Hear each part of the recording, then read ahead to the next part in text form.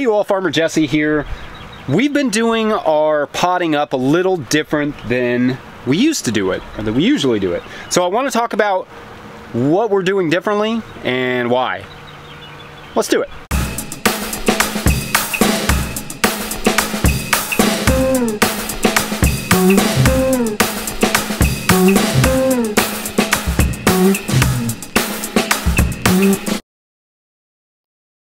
All right, so it's gonna be a quick video. Gotta get to planting.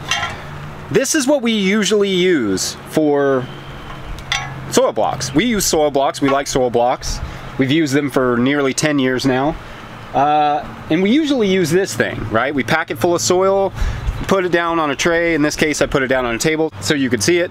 And then, uh, yeah, and then we just take the soil block and we put it in and then we pack a little dirt soil right on top and then that's our soil block. That's our potting up of the tomatoes or peppers.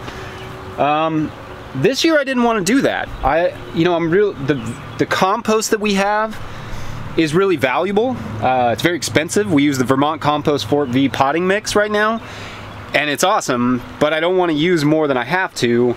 Uh, so it's a little bit, being a little conservative, but also, um, also, I kind of just wanted to change it up a little bit. I wanted to try something a little different. So as you can see, we did all of our peppers this way. We did all of those tomatoes. It's over 200 tomatoes. I'm not sure how many peppers. Um, and basically, there's two things here. One, I want to talk about why we're doing it. Why we're doing it is that we read that Jackson and I read this book, Farming for the Long Haul, and it basically just like stopped us in our tracks.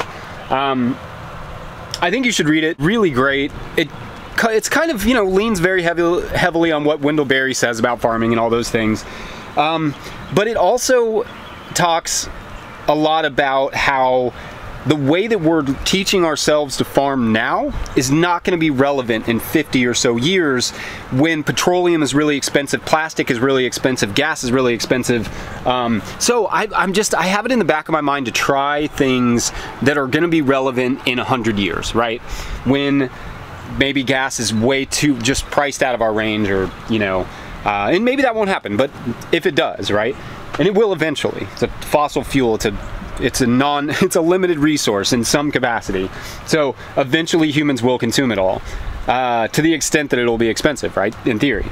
Um, so anyway i just think about this a lot like what are some methods we could use that don't really require anything? And this is one of them. So what all i'm doing is i'm taking a block out of a Winstrip right? We're using Winstrips now. You could use you could actually make the blocks the same way that i pop them up. You could just make little balls and put your seeds in them um, but anyway, you take your block, wherever it comes from, either a soil block or a cell tray or whatever, and you put that into a big thing of wet soil mix, and you just pack your soil around it. It's super simple. You can see how I did it a couple different ways. I flipped the block over in one case, um, and I just kind of pack that soil around the soil block. And so you get just this nice little, you know, almost like pottery of soil mix and it doesn't require this, which is expensive. Uh, I forget how much, I'll put it on the screen. Um, but those aren't cheap, right? Uh, and it doesn't require necessarily any plastic. You can put it on whatever. I have these trays, so we use them. But And I like that you can kind of make these as small or large as you want. I fit 18 in some of these smaller pepper plants.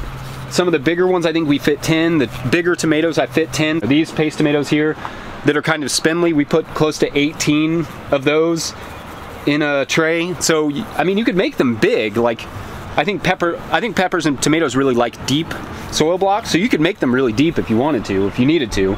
Um, or like in my case where I'm trying to conserve some soil mix, I made them a little smaller than when I make them in here. Um, and I don't think it took me any any longer, right? I think it just I think it was relatively the same, but I got to actually decide based on the plant how much soil mix to use.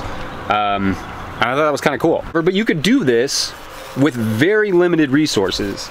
It's so if you happen to be watching this from an area where you don't have access to soil block makers, or if you happen to be watching this 100 years down the road, which would be amazing, um, yeah, you could use whatever.